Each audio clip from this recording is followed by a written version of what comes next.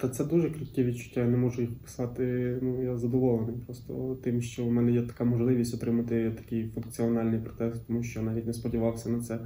Накладали мені ці електроди, і в мене була змога тестувати цей протез. Ну, не знаю, я просто кайфував.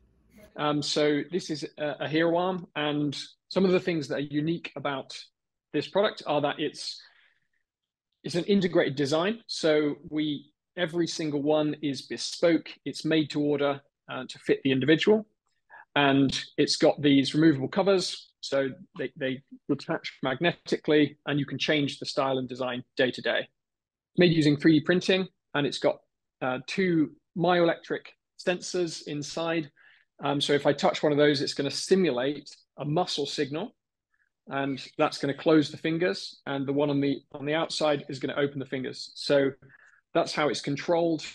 Um, the the person wearing it would be contracting their muscles, thinking about doing these kind of movements, and they'll translate to similar movements on the bionic hand.